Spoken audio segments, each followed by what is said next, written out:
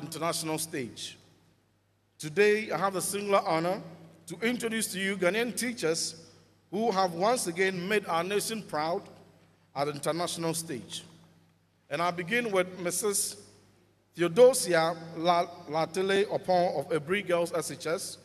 She won the top award of the African Union Teacher Prize 2020, which was announced in December 2020. May she come up as we acknowledge her. Ladies and gentlemen, may she come up as Mrs. Theodosia Latele Opon comes up for due acknowledgement, shall we honor her? It is important to state that this is the second time in succession that Ghana has won the award, AU Teacher Prize. The maiden AU Teacher Prize in 2019 was won by Miss Augusta Lartey-Young, Presbyterian Boys SHS. And also Mr. Robert Gariba was one of the top shortlisted Global Teacher Prize contestants in 2018.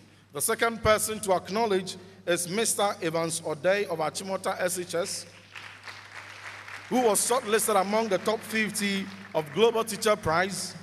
May he come up for us to acknowledge him.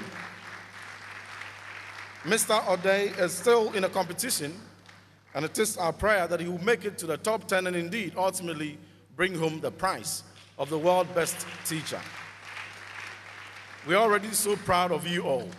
So we acknowledge them as they humbly take their seats. Thank you very much.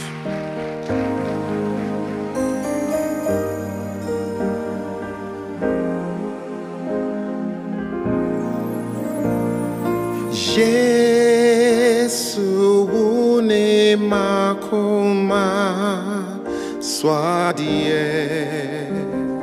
Wo ye madam fonema chenkwa. Wo